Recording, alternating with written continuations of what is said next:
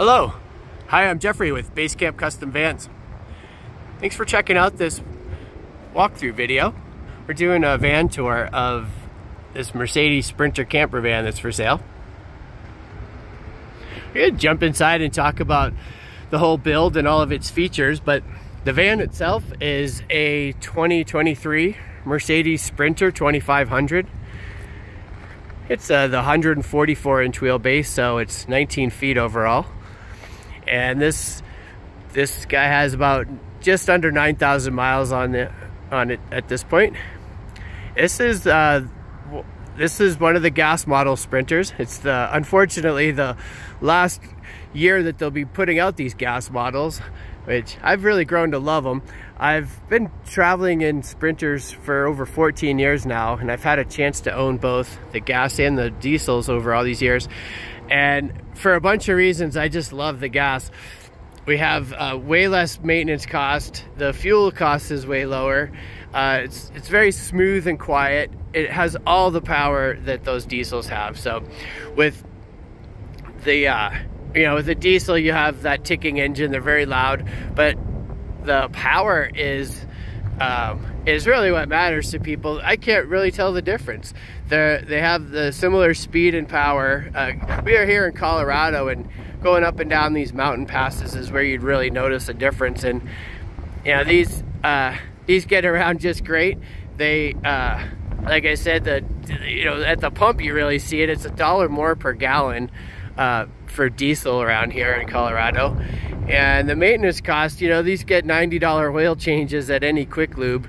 Uh, trying with a diesel, good gracious, they're, uh, they have to be done at the dealership or at a diesel mechanic. The oil changes alone are $500. Uh, you need a you need you know you need a $200 fuel filter every time. Um, the it, it goes on and on with the maintenance. There, there's a known issue with the diesels that the the DEF system um, had has had problems from the start. And even if the DEF system, the diesel exhaust fluid system works fine, the, the you know there's wearable parts. There's a diesel particulate filter that's a couple thousand dollars. Uh, the EGR valve to replace. Uh, these things are very expensive. Whereas this, these gas models have none of those issues, right? So this is also a rear wheel drive model, uh, which gets around just fine here in Colorado you know, we've, we've put, you know, studded snow tires on these and go anywhere in them. And as a testament, you know, Colorado Mountain Express, they've been shuttling people from Denver Airport up into the mountain towns of Aspen and Vail for 20 years in sprinters. And they've never had all-wheel, rear-wheel drive. They've only ever had rear-wheel drives uh, they, you know, they've never done the four by fours. You know, with on these types of forest service roads, we could take these vans anywhere, right? It's really you're just limited to you can't really go off road into like beach sand or something without a four by four. But otherwise, you go anywhere you want, and nothing stops these. We've got um, big 52 inch light bar on the roof, lights up the road like it's daylight. Uh, we did a Raptor liner on the hood. AM Auto half slider windows. There's also a Raptor liner on these uh, Vanspeed capsules. The capsules allow you to make the bed sideways. So we have a, uh, you know, 80 by 60 inch bed that um, 60 by 80, it's 80 across uh, this way, 60 inches. So it's a standard queen. And this bed is actually not fixed uh, permanently fixed. We have a walk-through feature where you just have to remove a few panels. Uh, so if you just take this mattress out and you know throw the mattress in the um, in the garage, you could take these four panels out. It allows it to be more versatile. Uh, you could put large things. Maybe you have to go pick up lumber or whatever. Uh, don't always need a bed for what you might be might be using the van for so allows it to be uh, used uh, in different ways there is 33 inches uh, from the floor up to the bottom of this. So you have, um, you can put, it, put a couple of mountain bikes in there, no problem. The two cabinets that are fixed, uh, one, one side over here, we're housing these three 100 amp hour lithium batteries from Renogy. So these are self-heating lithiums. They have um, a heating element, you know, the, they turn themselves on. It's all automatic, but it protects them um, in freezing temperatures, the self-heating. It turns itself on when it senses 40 degrees, and it has a heating element inside of them. Um, otherwise, uh, uh, you know, you don't have to think about it. They're 300 amp hours of lithium being charged. That's on the back wall there. There's the solar controller. There's 300 watts of solar on the roof. The other way it charges is here is a DC charger that uh, charges the, the batteries while the van is running. And when it's stop, when you stop, uh, when you shut the van off, the van, uh, you, you, you, know, it doesn't affect the starter battery. You can be using these lithiums. It cuts off the connection. That's what I'm trying to say. And that's all automatic as well. Up on the top, there's a 3000 watt inverter. The inverter powers these two outlets that are up front for using uh, 110 appliances, you know, like coffee makers and blow dryers, stuff uh, of high, even high watt stuff doesn't affect, won't affect the 3000 watt uh, inverter like this. You can power blow dryers or whatever. And besides those two outlets up front, there's three on the face of this unit itself. So you can have extension cords come out here and uh, maybe use an air compressor or something. The this cabinet also has this amazing heat source Propex heater.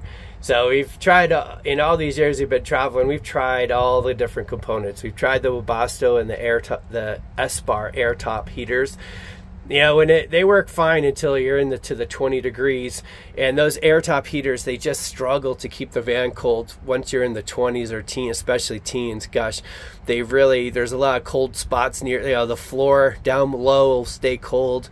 Those those Webastos and Espars they work fine, but not like the, these Propex heaters um, will keep this van really toasty um, even in the teens, right? So this van is fully insulated in the floor, walls, and ceiling. So it keeps the, the heat in in the winter, keeps the heat out in the summer. So on the other side of the, the other cabinet has a um, 25 gallon fresh water system. Uh, that's the 12 volt pump for it. And you can easily access the valves to like drain the tank or do whatever you need. And that all tucks away in these cabinets. Um, big cubbies on both sides. And right here is the, the fuse panel. I don't even know if you can see it. The fuse panel with the circuit breakers are in this easy access uh, panel here. And so lastly on the roof is, uh, besides the 300 watts of solar and that light bar, is a couple of MaxxAir Deluxe roof fans. Those roof fans allow you to uh, uh create like a nice wind tunnel effect with two of them like they're set up. Um, they do go in both directions so you can exhaust out while it's cook while you're cooking or you can turn one to exhaust and one to blowing in and create like this wind tunnel. You can they're very versatile. They also have the rain guards on them these are the deluxe models that have the the remote feature where there's automatic lifting lid and all the controls are either on the panel or on the remote. The coolest feature of these is that they have the thermostat feature allows the fan to be uh, you can turn the fan on. Uh, you don't really need the fan on, that's what I should say, is when you go to bed at night, but you have um, a thermostat feature where you can you can turn the, the, the thermostat on and, and, the fan won't turn on uh, until in the morning when it heats up in here it'll uh, it has a default to be like 78 degrees so once it's in the morning sun and the van starts heating up uh, the fan will turn itself on and uh, the lid will lift itself up, the fans will regulate themselves uh, faster or slower as needed, all automatically with that thermostat feature. Really great. So I've, I've actually kept the, it stays cool in here. I could keep with those fans going. I could have the dog be in here when it's like 90 degrees outside and he's been fine. So I have another AM Auto half slider window, side step, full length side step on the passenger side here. On the driver's side, there's also a short one and we can climb inside. We got a Lagun, uh, a Lagun accessory table that uh, just disconnects from the mount that's on the base of this. Uh, that can be stowed away maybe by the water tank or up here on top. We have, um, can, stows up here real easily too. Um, custom uh, overhead shelf. So this utilizes the space over the driver and passenger seats. Uh, there's there's still plenty of room to use the visor shelves and you don't bump your head or anything. Uh, it's high enough that you it's not in the way, but it allows you to uh, have extra room up there maybe for you know some blankets or like I said or this this table which has to stow away. Um, it's set up uh, it, it, can only be used when the seats are turned around like they are. So these are on their seat, these seat swivels uh, swivel both seats around to allow for um, obviously driver passenger to be part of this camping area. Those are Alpine mechanism seat swivels, the best that you can get.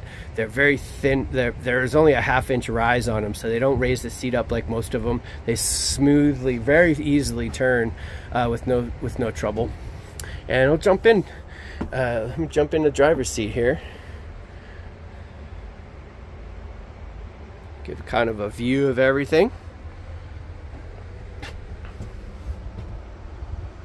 So we had some fun with the laser engraver. Uh, these overhead cabinets, uh, we have these, fractal spirals like carved in uh, into these doors, and, and, they allow you to they allow the uh, they allow the cabinet to have uh, light diffuse out through them from those LED strips that are in there.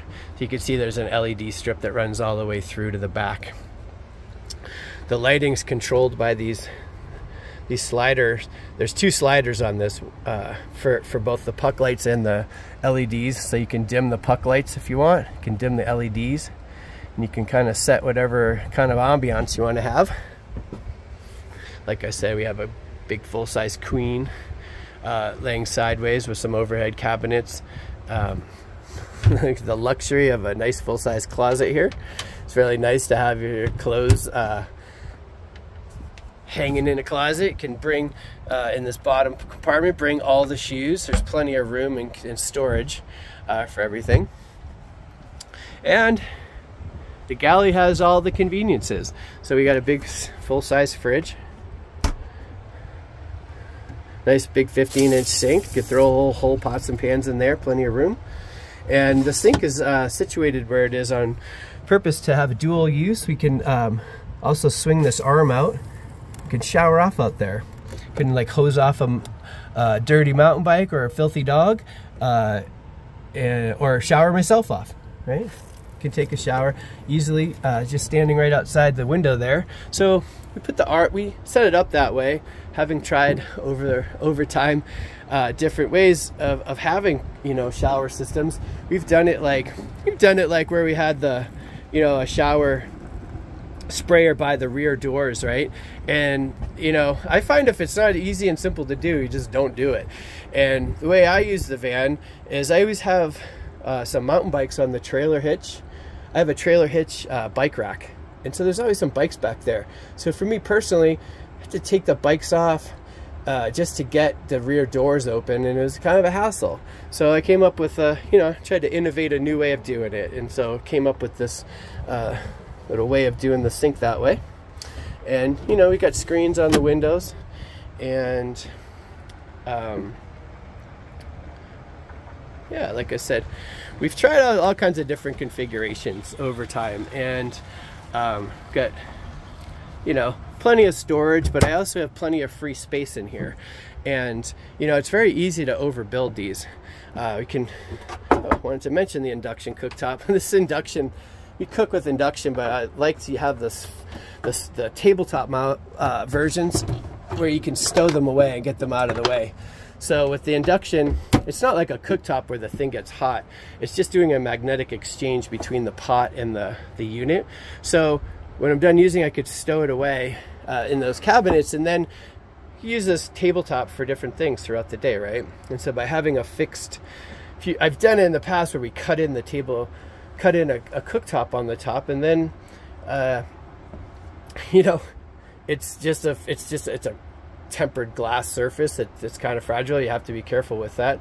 And I use the countertop for different things throughout the day. So cooking with induction and then stowing it away allows, uh, again, for more versatility, right? So I really do like, get, like the, um, you know, we have the, the conveniences, but we also have, uh, you know, plenty of free space in this type of configuration. And it can sit on the floor here and, and look out. I could sit on the floor and use this, uh, not just uh, for sitting on, but uh, sometimes I'll sit there and have my laptop looking out there or in, while someone you know that I'm traveling with maybe is sitting here and using this table um, like lay down can get on the floor and roll a yoga mat out and do some yoga so with this um, with this I really appreciate the free space in here as much as the things that that are built into it so it's easy to overbuild these right you can you've, you've seen them where they have countertop uh, another whole other uh, cabinet set up by the passenger door there and it starts to close this space off. I find it's not always nice weather like this where you can have the door open, right? and sometimes it's a, a, bad weather on a rainy day stuck in here with a couple of people. The, the, this the space gets feeling really small real quick uh, if you start overbuilding and putting a lot of cabinetry in. And oh, also in this uh, Almost forgot to mention we have a Trelino composting toilet that stows away in that cabinet. So yeah, the other thing worth mentioning is uh, not just the, con you know, we've traveled basically in those 14 years they've been traveling in vans. Um, I've traveled about 400,000 miles in camper vans. So it's not just that, uh, you know, I've had them for a long time, but it's spent many, many, many, many, many uh, extended trips, weekends away and and just week you know road trips uh, of all of all different lengths and uh, with that, we spent many nights in these, right? Spent many days and nights, and just tried out different configurations and just come up with. I think this is the best of all of the uh, of all the things we've learned over all that traveling, right? And the other thing we've learned from traveling in them a lot is is what's important in the build itself is that these materials have to be both durable and easy to clean. With, uh, you know, those are my requirements for every everything that comes into this. Uh, and with past builds, you know, especially in the first ones, I've maybe tried cabinets from, you know, cabinetry from IKEA, IKEA cabinets. Uh, just do not withstand the stuff that we do in these camper vans. We are not gentle uh, on these things. We're off on adventures, right? And things need to be durable and need to clean up easily. So with IKEA cabinets, they do, you know, you can damage those and there's no replacement parts. Uh, they're just made of melamine, uh, melamine covered. It's not even a formica. There, it's like a thin melamine with particle board is what all those materials are. And they just, um, I've had, they can look ratty and fail in a short amount of time. All of this was fabricated um, in, in the shop uh, using the best materials. So these cabinets are made of maple. They're faced with uh, formica. So there's a, a laminate face uh, that cleans up real easy, also makes them a little more durable. And butcher block countertops. We've got aluminum, uh, aluminum protecting all the edges, right? So you can knock into things, bump things uh, accidentally or whatever. And everything's um, got all the doors have uh, rubber T molding, uh, rubber molding along the edges. Everything's made to like withstand um, all the all that we do to these, right? And so it has to be, you know, those that has to just be easy to clean and durable, right? So with that in mind, you know, we've got this floor that we've had some failures of the floors in the past and uh, between using uh, vinyl flooring that rolls out that stuff can look ratty really quick and uh, unfortunately uh, um, vinyl plank flooring can fail in different ways. I in one video did vinyl plank flooring with which was a life proof brand from Home Depot. It was very durable but and cleaned up easy. The problem was those vinyl planks they they link together. They're like interlocking. And after some time where it had gotten hot and then cold, hot and cold, the, the expansion and contraction of the floor made a seam split right down the middle. was, all the cabinets were in. It was such a hassle to like take everything out and refix everything. So with some, having had traumas with flooring in the past, like I set out to find the ultimate flooring and here it is. This is marine vinyl waterproof uh, flooring uh, that's made for boat decks and so it's it's built it's made to withstand uh, constant exposure to UV and the sea and salt and the elements uh, uh, constant exposure for up to 30 years.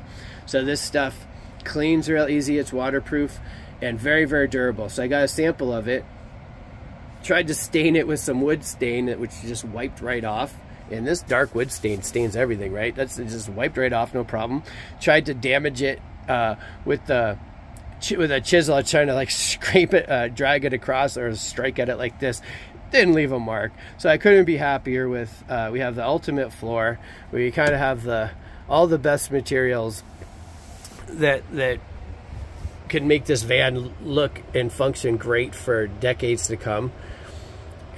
And we have, um, yeah, you know, nice, comfortable, open, spacious layout. So the van is available and if you are interested, um, we're happy to do like a video call on one of the video phone apps like FaceTime or Messenger has one. Uh, Zoom works well. And we could answer all your questions, point the camera at anything maybe I didn't get to cover. And if you are interested, please don't hesitate to reach out. So I look forward to hearing from you. Thank you so much for watching this. Have fun.